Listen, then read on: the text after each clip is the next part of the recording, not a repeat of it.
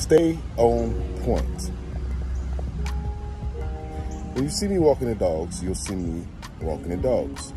You don't see me with a headphone and you won't see me on my phone. You won't see me looking down at the at the phone or, my, or the ground.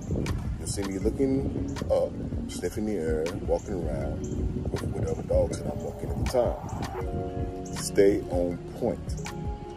When I'm walking the dog, I'm walking the dog. When I'm driving, I'm not driving with the phone in my hand. I'm not driving with, again, the earphone in my ear. I am driving the 3,500 pound car. Stay on point.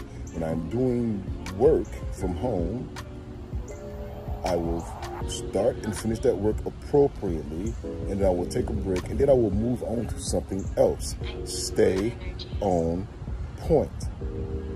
I make this video because we have this practice of distraction that we are continuously doing and it's not helping us even a little bit. This practice of distraction I'm speaking of is called multitasking, having all these things that we need to do and not getting anything done because we're not staying on one direction. And we know there's no such thing as multitasking to the mind. When you multitask, you actually take your awareness away from one thing and move it to the other. So, do yourself a favor. Stay on point until one thing is done and then take a break and move to the other. Period. Don't try to do six things at one time. You will be spreading yourself thin, spreading your awareness horribly, and then that will go into the rest of your life where you will, will not be able to stay on point. Stay on point until it's done, and then move on. Stop this stupid practice of distraction called multitasking that we continue to do and get nothing done.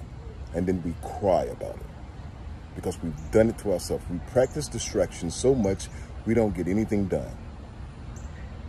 And it is us who are doing it. Stay on point.